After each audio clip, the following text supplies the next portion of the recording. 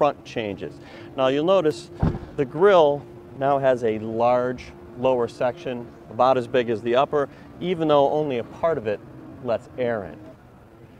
Now likewise, what look like vents flanking this lower grille are actually just for show. Now what's changed with the past two redesigns uh, is the grille has come farther forward, leaving the headlights back here.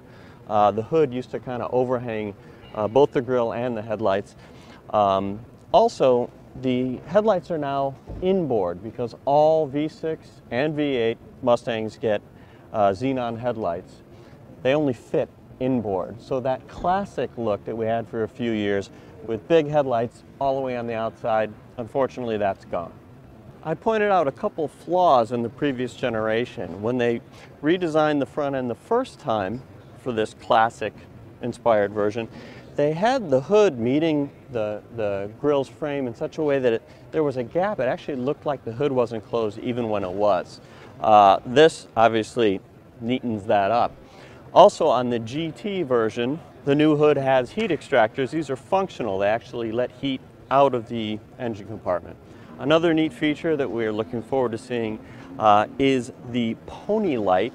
Instead of regular puddle lights that illuminate the ground outside the car when you're coming up or you unlock it, this actually projects the pony logo on the ground. Unfortunately, it doesn't work here yet.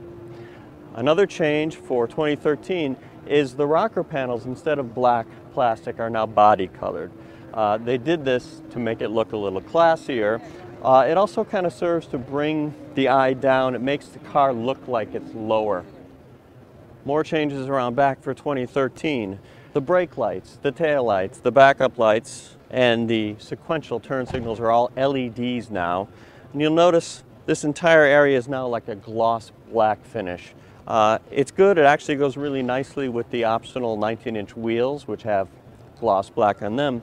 Um, one other big improvement, uh, this part of the trunk used to kind of protrude, kind of like the thing in the front, it looked like a flaw. Maybe they had rushed the car to market in the previous generation.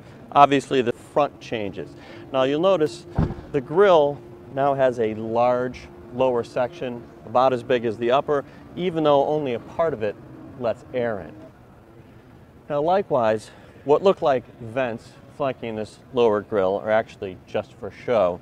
Now what's changed with the past two redesigns uh, is the grille has come farther forward, leaving the headlights back here. Uh, the hood used to kind of overhang uh, both the grille and the headlights.